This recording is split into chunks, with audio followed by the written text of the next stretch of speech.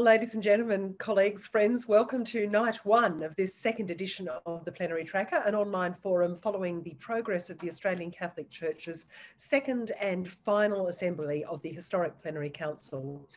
We'll bring you news and insights from the Plenary Council from Concerned Catholics Canberra Goulburn with the support of the Australian Catholic Coalition for Church Reform and Garratt Publishing. My name's Genevieve Jacobs. I'm a long-time journalist and broadcaster here in Canberra. I'm delighted to be with you for the second time. Our intention this week is to track the second assembly of the Plenary Council from tonight until Friday, July 8, with a view to informing, sharing, critiquing, and for advocacy on behalf of the wider Catholic community and in particular the church reform movement essentially we want to hold the assembly accountable by making its proceedings more transparent. So at 7.30 every night you'll hear from council members insiders observers and others to discuss the day's events as the council votes on issues that are central to the life of the catholic church in australia. And of course that includes you if you're watching. The purpose of this tracker is very much to engage with ordinary concerned catholics as we work towards a more humble, transparent, and inclusive church.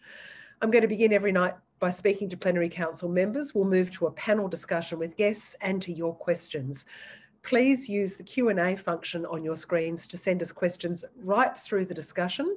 We have a moderator tonight. It's my esteemed friend Paul Bongiorno, a 34-year veteran of the Parliamentary Press Gallery, a founding member of Concerned Catholics Canberra and Goulburn, and also the possessor of a master's degree in theology from the Urban University in Rome.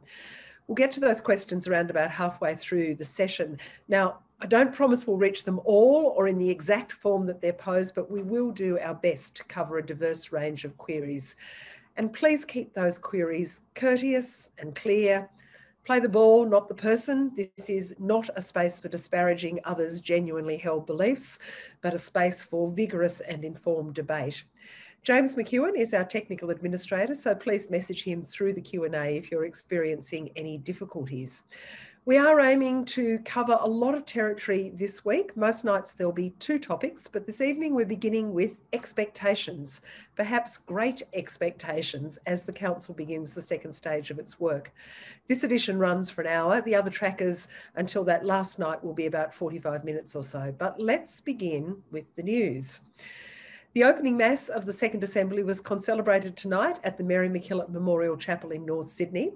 The principal celebrant was the Pope's ambassador to Australia, Archbishop Charles Balvo. And it is Aboriginal and Torres Strait Islander Sunday, and this was recognised in the liturgy. Plenary Council President Archbishop Timothy Costelloe says, We have come to this point in the Council's journey, mindful of the hopes and prayers of so many who have laid the foundations for the week ahead.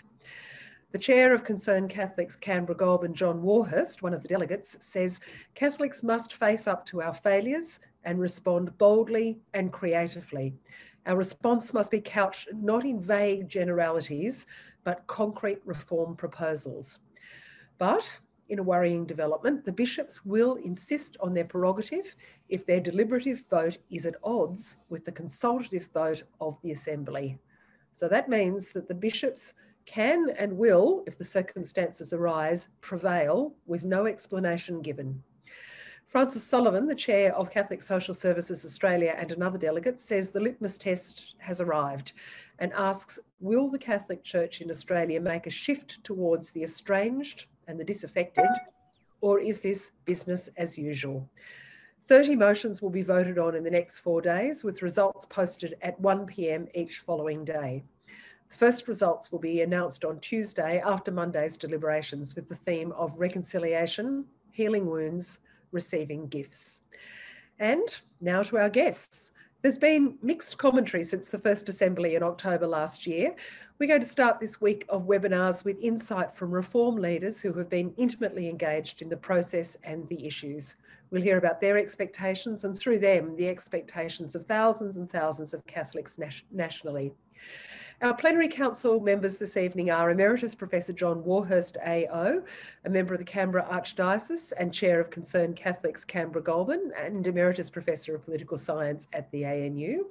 He's joined by Catherine McAleer, who is a plenary council member from the Toowoomba Diocese, a primary school teacher. She now works with teachers in religious education and catechesis. She's worked in three dioceses across Queensland and Northern New South Wales and for Caritas Australia. She's passionate about sharing education with those who haven't had the same opportunities she has been blessed with and fellow council member and Canberra local Francis Sullivan AO is with us too. He chairs Catholic Social Services Australia and the Mater Group of Hospitals and was CEO of the Catholic Church's Truth, Justice and Healing Council. And uh, welcome to you all. Here we are again. Last year's first plenary council sessions were a major undertaking, something that nobody in the Catholic Church had experience with. Sometimes they were a revelation, sometimes proceedings were deeply frustrating. I'm wondering from each of you what your feeling is about what this next round of the council will bring. And John, I might start with you. Well, the rubber hits the road now, Genevieve, doesn't it? Um, this uh, second assembly will be very much about voting on the distillation of all those issues which have been raised by, uh, by the Catholic community um, over the last three, three or four years. Um, I think we have a right to expect um, great expectations, as you, as you said.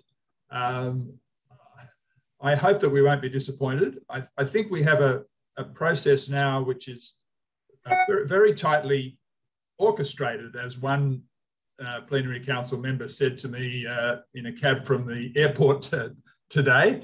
Um, a very tight agenda, um, I think overall, um, it's not as bold as it, as it should be. Um, we can describe the terms of the motions in, in various ways, um, but they're too cautious, I think, and, and uh, in some cases too defensive. That's not to um, be too critical.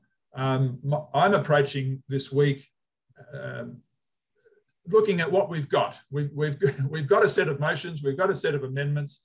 Um, I think all members have the uh, responsibility to make the best of what we've got um, and to push the church in a transparent, humble, inclusive direction as far as, as, far as we can.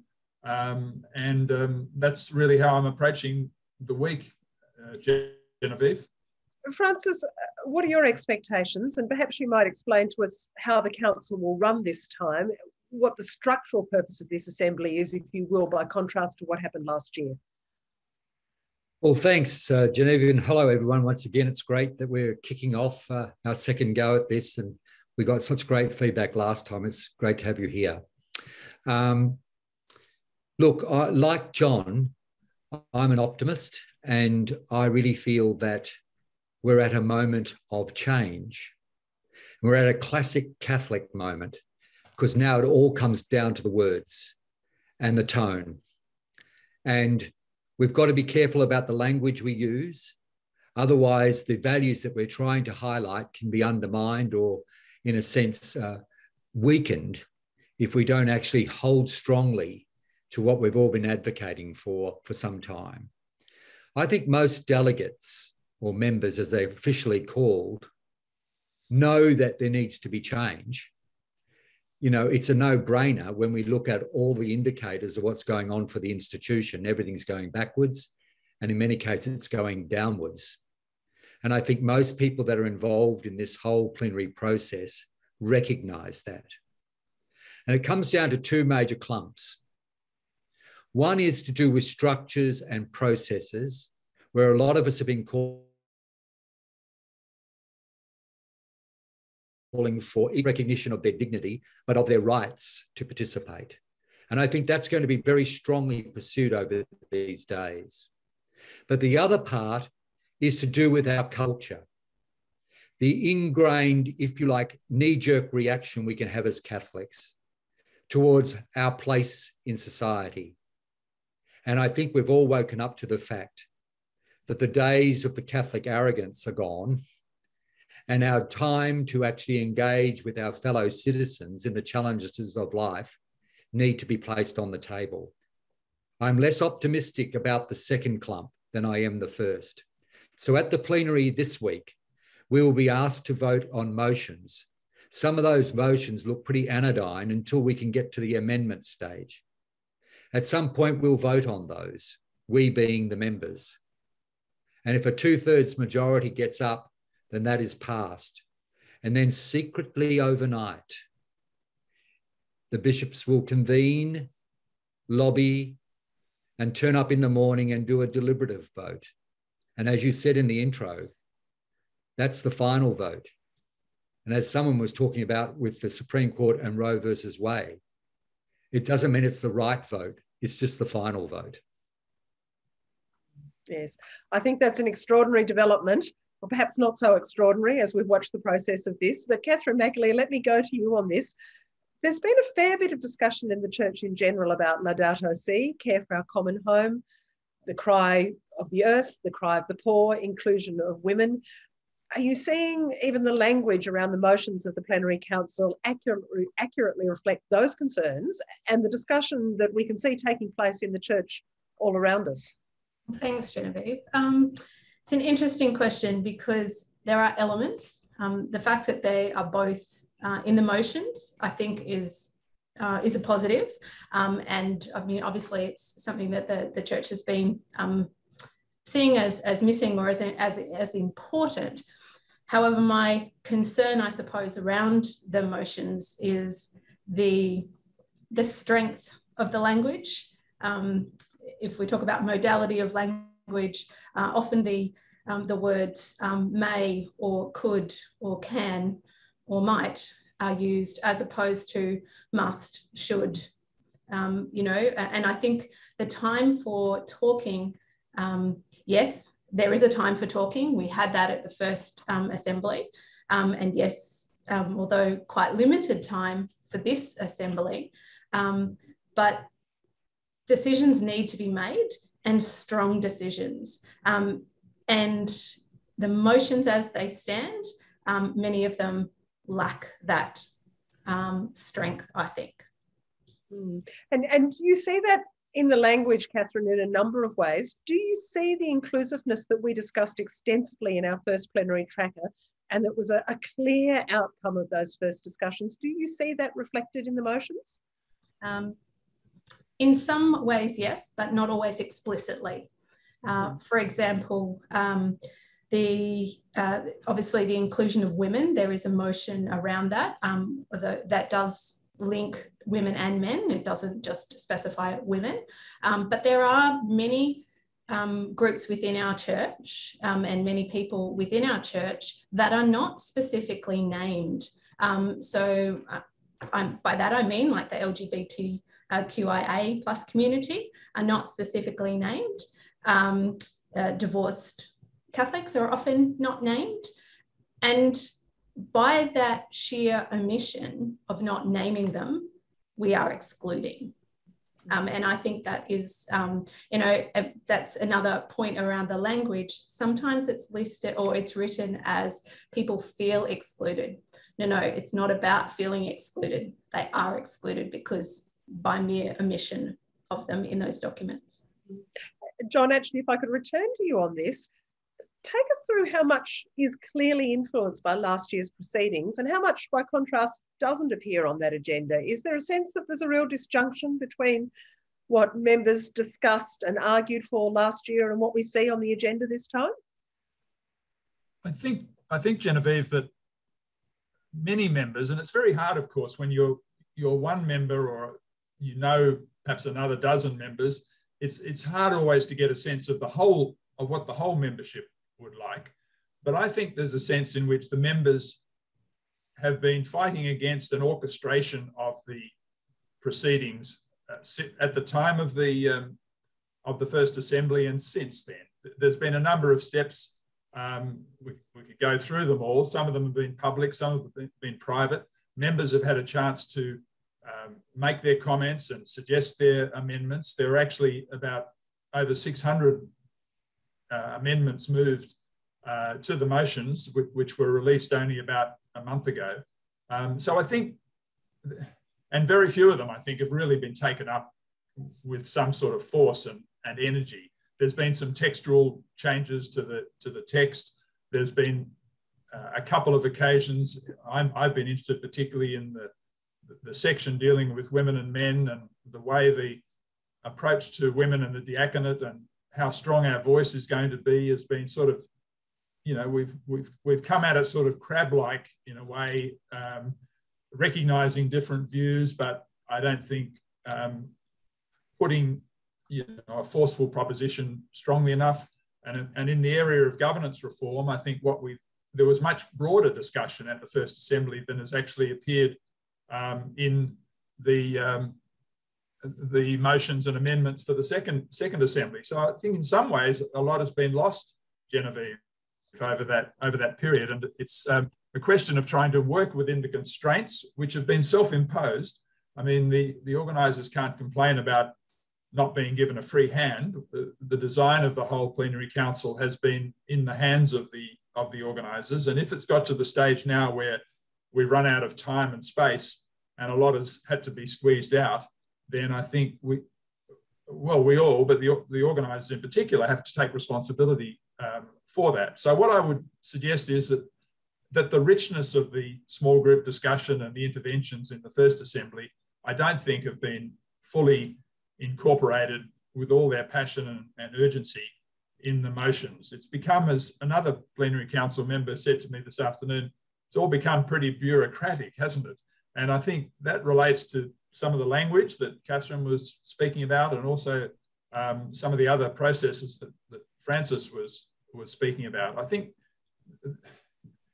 we're sort of strapped into a process in a way, and and um, it's one which uh, doesn't allow, I think, in Joan Chittister's words, you know, the church to flap its wings and fly. We're, we're sort of being uh, tied down too much, I think, by the uh, formal processes of the Second Assembly. Uh, Francis, just before we bring in the rest of our panel guests, how does what happened last year inform your approach to these deliberations? Well, I, you know, I can only concur with what John's saying. I mean, we actually don't know how some decisions have been made about the papers we have in front of us, the motions we have in front of us.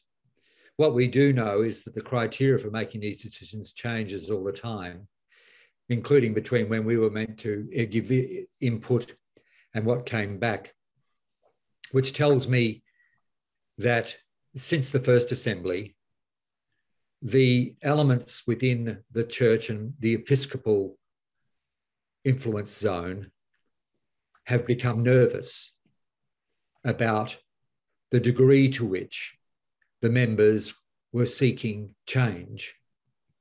And I think the uh, clamp has been put on to make sure that the bishops are able to say yes to all of the motions that are passed.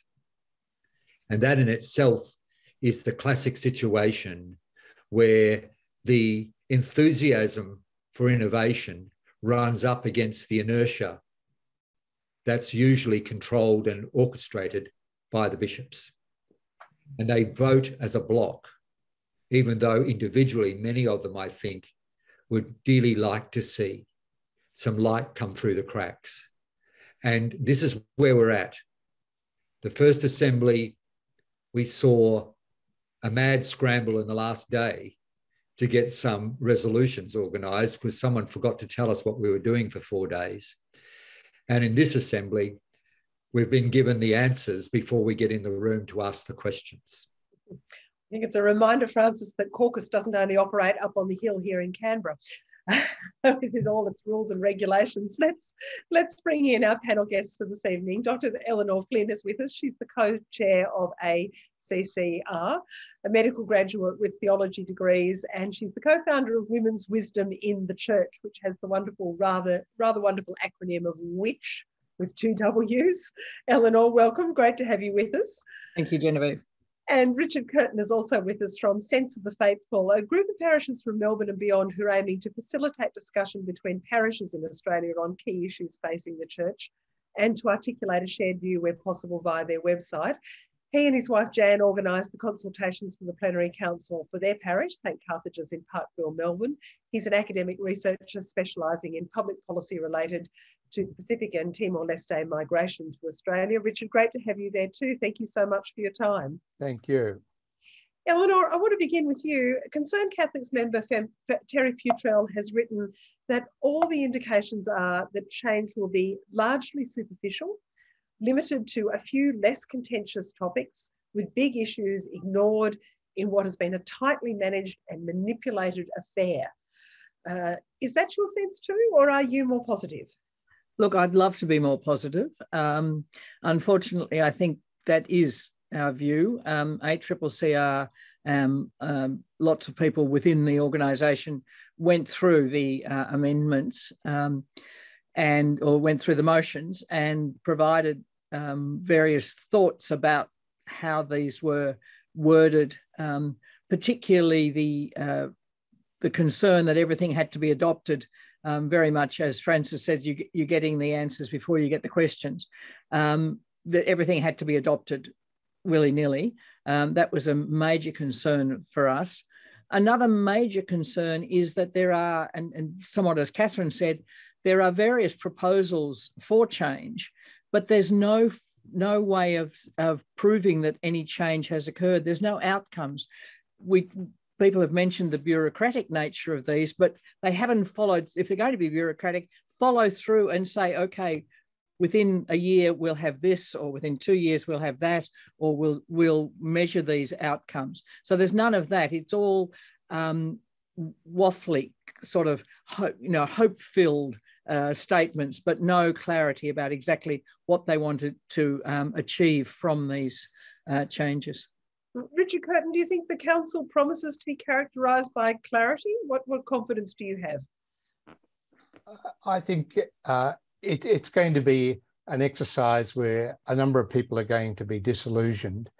And I think in some ways I was expecting that this would probably happen. And I hope that what it does is spur people on to a different form of uh, communication and synodality, realizing that this sort of uh, rigid structure that the plenary council has operated within, uh, within a highly uh, focused canon law perspective uh, is, is something that uh, has its real limits. And if we're going to be able to tackle a range of issues, we need to do it with different structures, with, with different starting points. Richard, the Sense of the Faithful group in Melbourne organised two face to face meetings and a national meeting by Zoom to formulate a joint statement endorsed by PC members about the Second Assembly. Can you tell us more about your statement? Well, uh, just about the process to begin with, uh, we thought it was very important to do what we thought needed to be done more widely.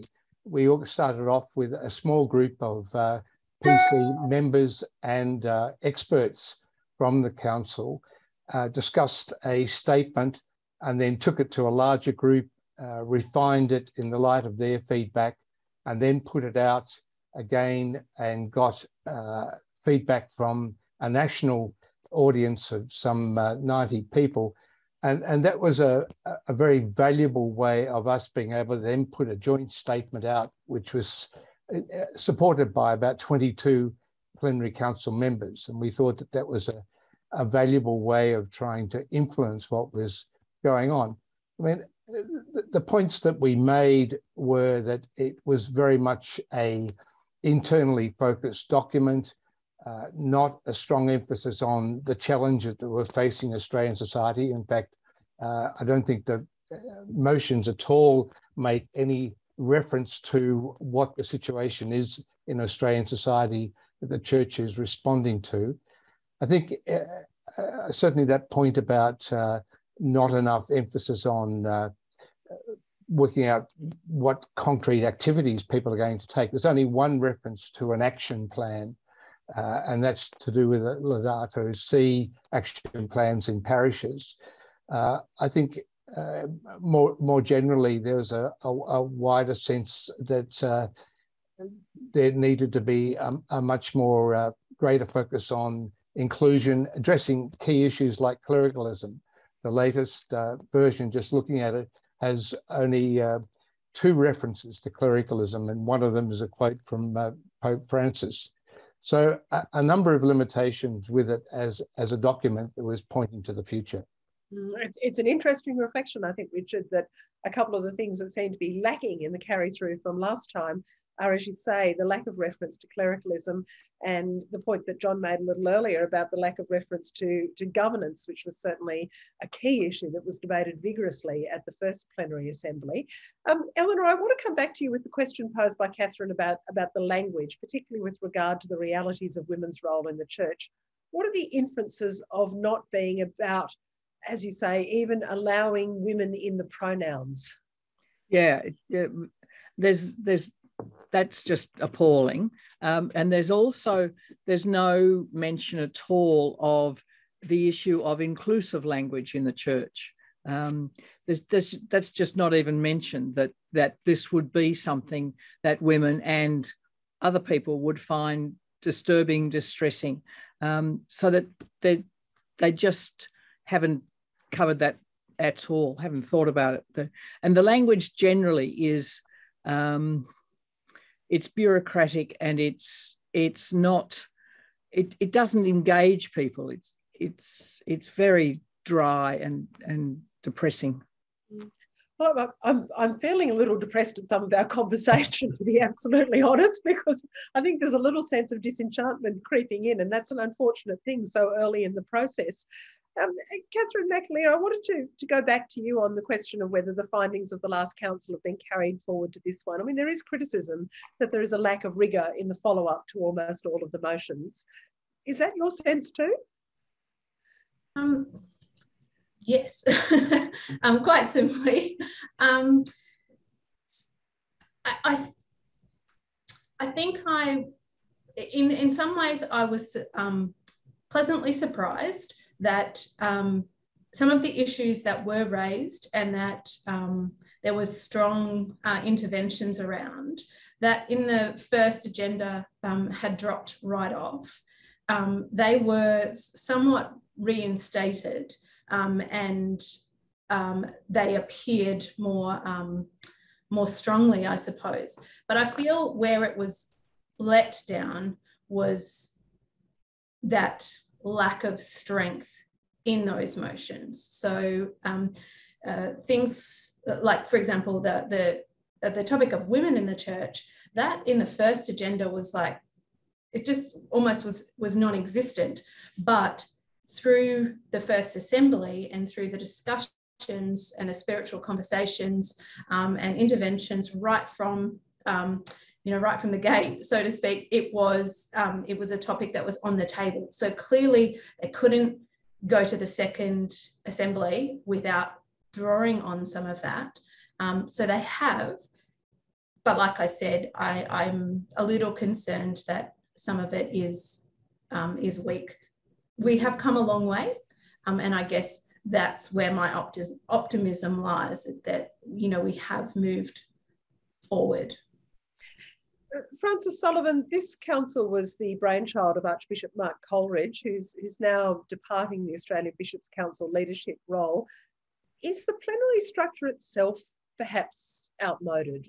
Have we got it right with the model that we've chosen for this enormous discussion for the church in Australia?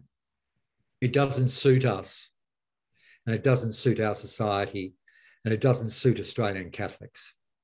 I mean, the situation is in our world, men and women have equal rights. In the church, that's not the case. In our world, we do things democratically. In the church, that's not the case. And in our world, we decide what's right and wrong through a relational ethics. In the church, it's about rules. And so, what we've got is a clash of civilizations here. And so, I think most of us are entering into this process with goodwill, but we're not fools. And I think what we've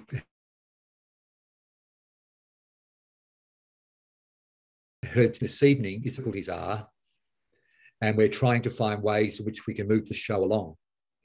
The thing that I think we've got to understand, all I have to really, I feel really deeply about, is that we're also talking to ourselves as a church. The majority of Catholics have gone this, the, the, plenary council means nothing to the Catholic community generally. Most don't even know it's on, and if they did, they've forgotten. And the reality is that most of the generations below me, until they go back to, to get back to schools, have found another lifestyle where they can pursue a good life. And they don't seem to need the institutional church. And unless we can confront that as, as the remnant, uh, if we can confront that, understand it, and then try to address it in deliberate ways, we end up just be having a talk fest. That's the real fear that I carry. And John Warhurst, I might go to you before we go to the questions. And I would just say that if you've got questions, they can go into the Q&A at any time. I can see those questions beginning to come in and we'll go to them very shortly. But, but John, to you, I mean, I, I think the sense was that, that Archbishop Mark Coleridge did this with the very best of intentions. I know, for example, that the, the German uh, Catholic Church has chosen quite a different way of discussing the issues that many of them that they have in common with us. But, but perhaps, you know, is there a risk that it's all for naught? We can't bridge that gap between what concerned, reform minded activist Catholics, like many of those on the panel and listening tonight, feel.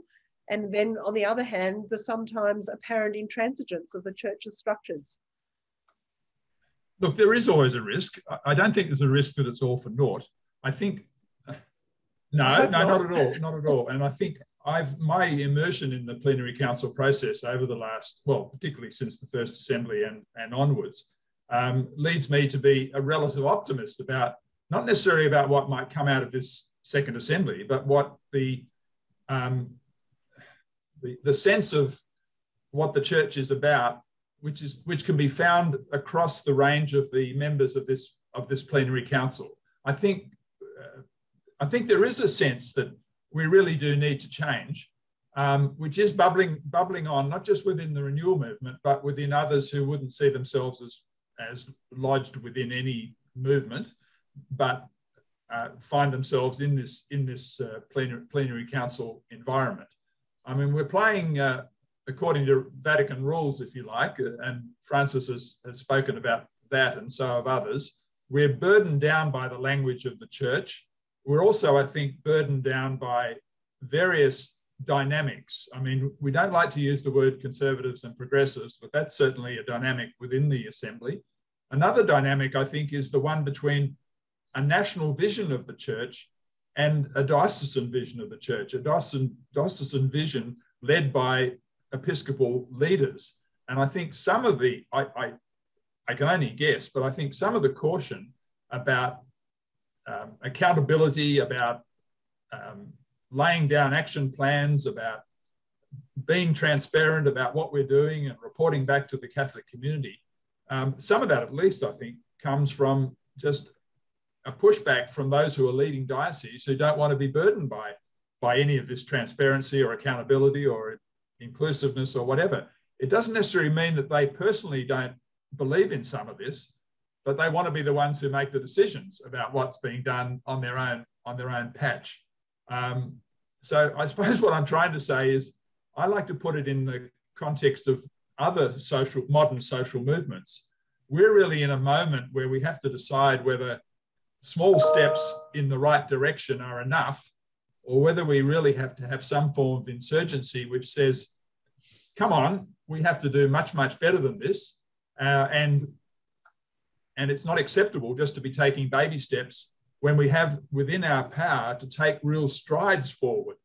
Uh, I'd like to see within the Second Assembly, you know, us striding forward as a church. For heaven's sake, the, the uh, results of the census, which came out, you know, in the last week or two, show that if we're not striding forward, uh, we're not getting anywhere. We're actually going backwards. And uh, so that's that's the dilemma I see as a as a member of the plenary council? Are, are baby steps enough?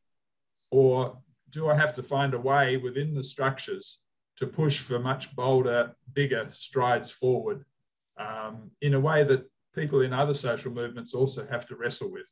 I mean, that's what I'm wrestling with, with at the moment. I like this idea of an insurgency. It's a, it's a good it's a good choice of word, John.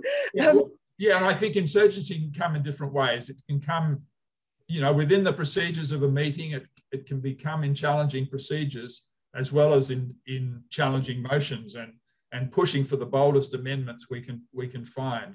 I think the Second Assembly would benefit, uh, yes, from a bit of insurgency. However, we, however it's defined, um, a bit of members taking back some of the lack of control, which I think they've ceded to the authorities over the past, um, at least the past nine months, but possibly longer than that.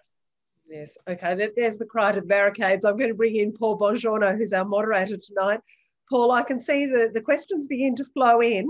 Um, give us a sense of what people want to know. Hi there, um, Genevieve and, and panelists. Um, well, uh, it seems to be on, on two levels, really. One is there's quite a few process questions. A couple, I think, need answering, um, which I'll put to you. Then there's the broader sense that we've all been discussing tonight. Is it in the end really worth it? Are we wasting our time? But let's go to uh, a, a, few of the process questions. It's quite interesting to see people wanting to know. Um, they're saying, well, we were given the opportunity to comment on the draft. Will we be given the opportunity to comment and view on the final agenda? Um, maybe John Warhurst, uh, you could answer that along with the uh, uh, another question that dovetails with it. Um, will the motions be debated? Uh, and if they are going to be debated genuinely, how will there be enough time to, to, to cover the lot? So, can you answer those two questions, uh, John? Right. yeah, I, I, try to be informed about the uh, processes of the plenary council, and I'm not sure I can give full answers. On the on the second one, um, I think time is a real problem, and I think to uh, I give the benefit of the doubt to those who've put forward the amendments, the very limited amendments which have been put forward, that they may have decided, look, that's all we can fit into the available time. Um, and like any meeting, um, there will be debate in the sense of, um, you know, uh, there'll be speakers for and against uh, motions and for and against amendments. Um, how they'll actually been chosen is a bit opaque, which also is one of the problems with the uh, the whole plenary council process. But yes, a number of speakers will be chosen uh, to speak up to two minutes on it, on uh, for or against, um, and reflecting on particular amendments uh, and motion. So in that sense, I think it's a it's a meeting procedure which would be familiar to to people who've been in any sort of a meeting at you know in their professional lives or in their local in their local communities. Um, I'll get some help from my fellow uh, uh, members on this. I had I had assumed that the final program of, of motions and amendments was a public document, um, and uh, I, Catherine and Francis are uh, nodding so that that is the case.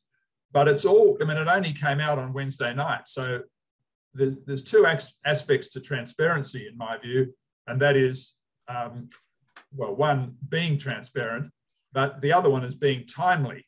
And I think being timely is where the whole assembly process has, uh, has fallen down. I don't think there'll be much time for the general Catholic community to influ influence the proceedings of the debates on the motions and amendments unless people get in very quickly and get on the, you know, get in, in contact with your favorite plenary council member, whoever, or your local plenary council member, and say, look, I'd like you to make an intervention of this sort on this amendment or on this, on this motion. Uh, just uh, just um, a, quick and easy answer, really. Uh, if people go to www.plenary.council.catholic.org.au, which is the website of the plenary, you will find all the motions there. That they have been published, and you'll find them there. So that's right. That's right, Paul. The uh, just to just to be clear, the motions themselves. Um, effectively haven't changed. I, again, Catherine and Francis can jump in here from the framework of motions, which was published a month ago, um, th there's certainly been textual changes to some of the um, general material that we, we're being asked to adopt.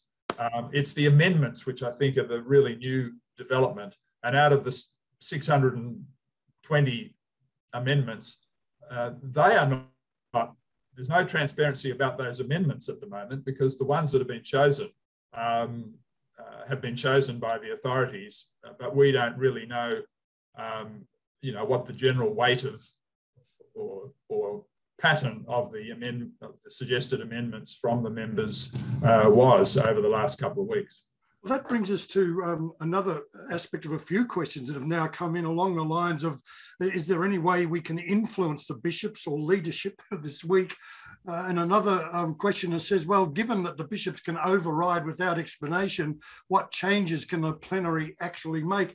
Uh, Dr. Eleanor Flynn, I did notice that you uh, admitted you were hanging on by, was it your toenails or your fingernails? how, how would you go about addressing that sentiment, which, by the way, a few people have uh, raised tonight. Uh, thanks, Paul. Um, yeah, my toenails. Um, I, I, um, I think that uh, well, yes. As, I mean, as, as, John says, those of us who know um, a plenary council member, and obviously all of you could work out how to get in touch with John or Francis or Catherine, perhaps, um, to get in touch with them.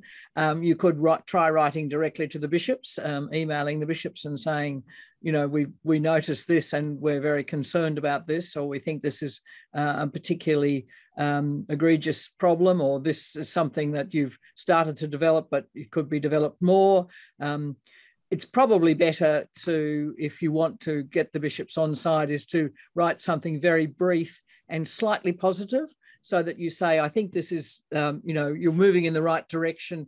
However, you haven't got far enough for the, the general Catholic population um, to uh, accept this view. So they would be my suggestions for people. Yeah, well, we hear a lot about uh, discernment and praying for each other, uh, you know, thoughts and prayers. Uh, someone from Melbourne has uh, made the point that the intercessory prayers for this Sunday in parishes across Melbourne made no mention of the plenary. Is this inertia, deliberate exclusion, or sheer stupidity? Um, well, it's inertia, we can see that, but I find that quite extraordinary myself, so that this huge event isn't being prayed for officially in the churches around the Melbourne Archdiocese. I don't know about others. Um, it was in mine, but we have two members in our little parish. So. Oh, okay, well, that's good. Um, Catherine, uh, um, Catherine McAleer, a few people have, uh, you know, raised the issue uh, that you did about language and, you know, how weak it is. Um, can you just elaborate a bit more for two or three people who have raised this issue and uh, pointing to the fact that they believe that it uh, actually uh, is very, um, very revelatory of of, of well, mm, maybe ill will. Yeah, thanks, Paul. Um, I guess you know when you when we read the the motions and and the amendments. Um, as I said in the beginning, I think it's the modality, like how strong something, how strongly something is said. I don't think that these motions would be on the table if people didn't feel strongly about them. Um, and so uh, there is such a disparity between what is being um, what is being said by the, the members. Um, and and remembering that the what, what the members bring is um, you know hopefully from their own experience in you know in parish life in their diocese um, so they're not just necessarily bringing their own voice they're bringing the voice of many together. Um, the the part I guess I um, I, I, struggle with is you know there's a saying that the standard we walk past is the standard we set. So mm-hmm. if we if we agree with the standard that has been given, um, is that that we are um, are not being strong enough ourselves, I suppose, um, or do we settle for what is given um, and keep pushing? I suppose I suppose that raises the question uh, and Francis Sullivan pointed this out, uh, and I noticed that one, one of our questioners has said that Elvis has left the building.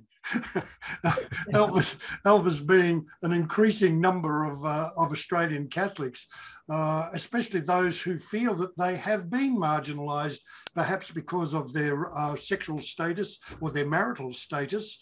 Um, and they've got on with their lives. And maybe, as Terry Futrell, one of our concerned Catholics, wrote this week, uh, the bishops need to wake up to the fact that they actually don't own the Holy Spirit.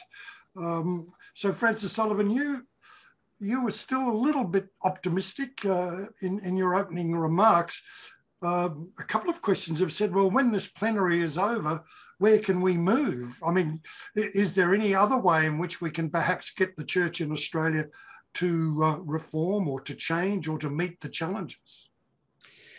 Uh, Paul, you know, the one thing I do is I stand in front of the mirror and I say, We are the church. Hmm. I think we've really not got to fall into the trap that the church is turning up at the plenary council. We're just members of the church meeting in a plenary council.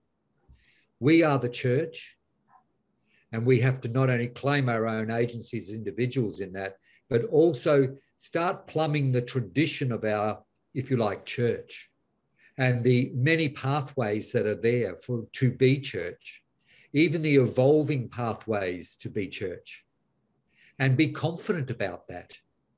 I mean, I am not one for going to a plenary council and somehow saying the reference point is that institution. The reference point for us all is our spiritual journey and in the Catholic tradition. That's our reference point. And for me, uh, the plenary council meetings are a set of meetings. And then after that, my responsibility for my spiritual journey with those I want to journey with continues. And I think this is the point we've got to keep saying back to everybody. Let's find ways in which we can be a nurturing community so people feel they belong in whatever situation they're in. Because that, frankly, that is meant to be the definition of being Catholic. It's holding unity across diversity. And I think we've got to be strong, confident, articulate, and passionate about that. And if other people go, that's not the church I want to be part of, that's cool. Mm. But I think we do, should not be cowed by this process, but be attentive to what's in it that we can build on and assist. But it doesn't have to define us. Interestingly, um, what we saw at the opening mass today was in many ways a, a, an application of some of the uh, good, you know, great, uh, significant liturgical reforms of Vatican II. The concelebrated mass was very new in the Latin church uh, because it uh, brought out the idea that our church is a communion of churches, a communion led by their overseers, their bishops, etc. And we saw that uh, today. But I thought this was a fascinating question um, this woman says, I question what the liturgy says about synodality. With such a mass of concelebrants, would one celebrant and all participants mixed up in the pews give better witness? Could the final liturgy better show an inclusive communion?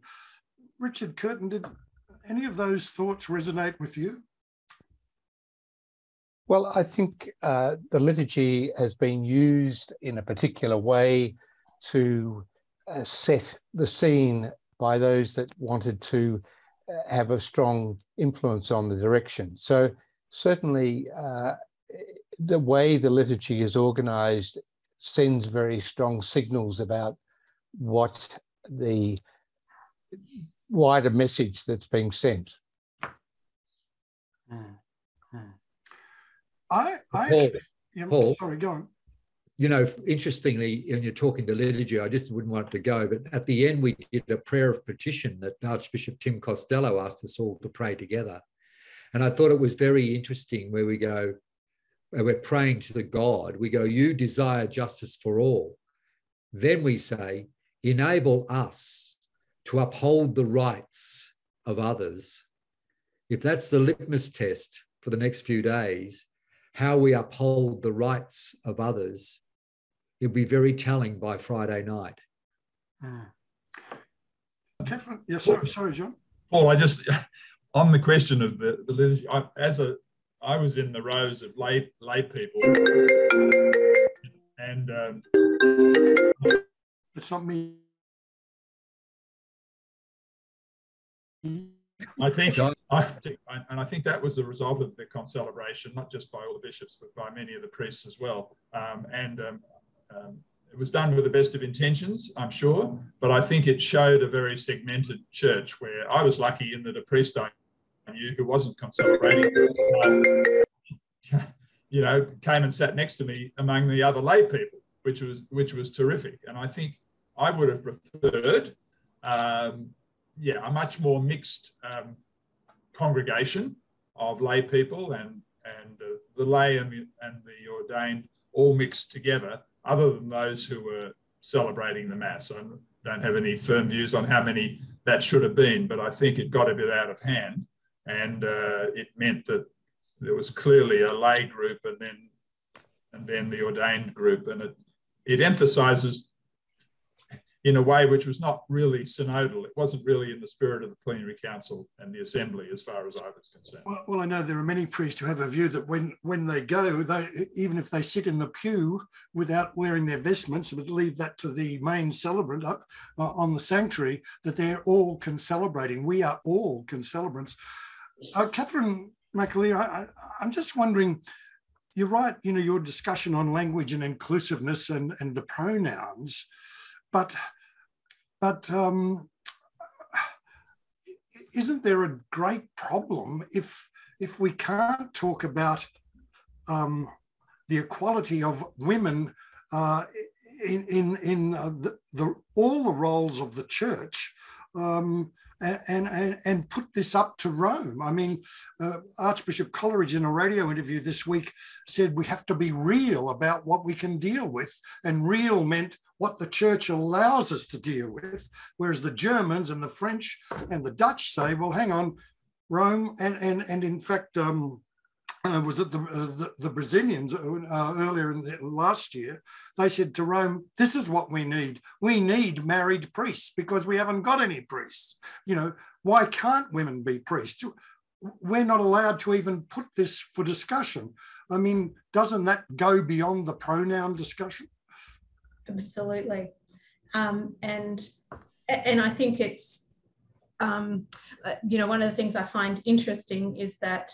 Um, uh, you know, as a woman who walks into a church, um, you know, we, there's 50% of the um, congregation are immediately excluded um, by the fact, by the mere fact that they are not present um, in the celebration of the Eucharist. Um, and yet they make up, in many cases, more than 50% of the congregation um, and you know, which is um, quite telling, I think. Mm-hmm. Um, so, so yes, I think we it, it goes beyond um, what is um, you know what what the rules are, so to speak. Um, I, and I think that we we really need to be able to say this is what we need. Like you know, I've worked in some um, you know, remote parts of um, the diocese uh, from different dioceses. And, you know, it's the women who are holding those parishes together. They're leading lay-led liturgies. Um, you know, they're doing a lot of those things that, you know, this is a this is a need that we have, and uh, and I think it's important that we fulfill it. However, the and I think this is important. However, the women of the church feel like that need needs to be met. Is interesting? I don't think it's a, that um, that the men need to be making that decision on our behalf. Well, well, Dr. Eleanor Flynn, it was interesting watching the liturgy today. They actually did make a big effort to include a lot of women uh, in, in, terms of the the, the, wonderful uh, uh, liturgy with the uh, um, to celebrate um, um, NAIDOC week at the beginning, and, and, even even a sorry to the to the dispossession of of uh, First Australians. But I wonder, I correct me if I'm wrong here, but I, I, think now aren't women allowed to be acolytes on the altar? I think they are. So why did we have two male seminarians, presumably celibate, um, uh, rather than you know a couple of women acolytes actually on the sanctuary? Presumably the organizing bishop um, decided that that was what they wanted um, or that they were uh, you could you, you, knew who they were they would be behave themselves and be tame um, but I, I, agree totally with what catherine says um, and coming from a medical background you don't have conversations about people without them there. So having conversations about what women want without women there, without women being able to be part of those conversations, is just madness. And it it it I mean it speaks um, to the way the, the Roe version, um, problem in America um, that uh, uh, you know it's it's a bunch of mostly men deciding what women want and how to um, work with women. Um, so I don't uh, I, I, don't know why they decided to have a couple of um, seminarians, but probably because they were available. Well, Richard, have you got any thoughts on this broader discussion? Well, I, as a I mere saw, male, I I saw that statement in it's still there in this version of uh, the motions saying that uh, women should be consulted, particularly in matters that affect them. I mean, what a ridiculous uh, thing to say. Uh, it, it, shows the whole attitude that women have to be treated as a special class. So there's there's a hell of a lot that needs to change for uh, the people who are behind the drafting of that motion about the place of women in the church to recognise that what equal treatment involves. Can I can I bring another small point in that we we often get in church documents the um, minorities or the, the marginalized or whatever, and women are included in that. And as Catherine quite rightly pointed out, women hold the church together in Australia. Then we're not a minority and we're not the marginalized. We are the marginalized by the church, but we, we aren't in the world. Well, yeah, a bit over 50% is hardly a margin, is it? um, well, look, uh, we're coming towards the end of our discussion. Uh, John, coming back to you where, where we started, um, it's, it's pretty clear. I think it's um, there'll be no more plenaries, which I think, judging by tonight's discussion, we would all welcome. But maybe we do need something like the Germans are trying to get to, a sort of a, to give the word synodality or synod um, you know, real meaning. But it seems to me that the bishops will breathe a sigh of relief when this week is over. Is that the end of it? No, no, it's not the it's not the end of it. I mean, I think in terms of synods, and I agree with what others have suggested that that's probably the way to go. Um, there are positive motions about synods taking place at the diocesan level, um, and that's I think, and and also a review process over a period of the next five five to seven years. But just to focus on synods uh, at the diocesan level, I think that's something which the renewal movement and, and the broader Catholic community should focus on because I think there are real opportunities there. I think there's also a proposal for a national synodal body, um, which is still very vague, but which I think does offer some possibilities for uh, real walking together and lay co-responsibility at the national level. I think in in some of the um, more specific areas like social services and education too, um, my understanding of some of the motions is that there are calls for a, a wider national discussion uh, on these specific topics um, on a regular regular basis. They won't be called synods, but they'll be national meetings of people concerned about education or social services or or or other areas. So I suppose I'm I'm looking for the the silver lining uh, rather than saying, look, you know, there'll be no third assembly and that the end of the world is nigh. Uh, I think there are opportunities if the best the best of these motions and amendments are um, pushed forward for um, for greater synodal um, processes and ways of doing business, because that's what it comes down to within within the Australian Church. And I think we should look for those those possibilities. So um, finally, Catherine, what about the younger generation and the younger women generation? Do you think they would be interested in joining a future discussion if it's uh, rooted more in, in, in their reality? No, absolutely. Um, and I think that, um, that, you know, that is the next steps forward and and you know regardless of I, I, suppose regardless of what happens this week and maybe even in spite of what happens this week um, that that we you know as francis said we are the church mm. and as members of the church um, we can't sit idle um, if you know when we believe something um, th- that you know, and as Pope Francis said, go out. So I think that that's what we're called to do is we're called to go out and, and to be the church and to engage in these discussions and to be the church in a way that we can be the church um, in, in, I suppose, um, the boundaries that exist. Well, thank you all very much. Before handing back to you, Genevieve, it's interesting that the, a lot of the later questions that have been coming in uh, are sort of people who have um, haven't expected much or expected more than they've got and they're disappointed. So, in the five days of this week, maybe we can hope to see some straws in the wind or cracks of light that Francis Sullivan talks about. Uh, and we'll be tracking it, won't be, for the next three or four days. Indeed, we will, Paul. And look, I, I want to reflect a, a, couple of questions and a couple of things that were statements. One saying, I want to thank Francis Sullivan for his comments about a clash of cultures and that this process doesn't work well with us. Perhaps this is why I haven't been positive about the endeavour, even though I agree much needs to be addressed. And one which I think perhaps comes accompanied with perhaps even a shake of the finger from Margaret Rush, who says, Is there not a moral necessity that there must be change or the whole process is a waste of money and that is sinful. so there's a, there's a, a, real fillip for all those who want to see change take place. Look, thank you everyone for being with us this evening. You can also follow the Council's progress via several blogs, including from tonight's guests. Francis Sullivan is writing his blog with Catholic Social Services. John Warhurst is also blogging the proceeds with Concerned Catholics Canberra Goulburn, and Geraldine Doogue is also following the Plenary Council. If you're curious about the council agenda, you can read motions and amendments document, which was released last week on the Australian Catholic Bishops site.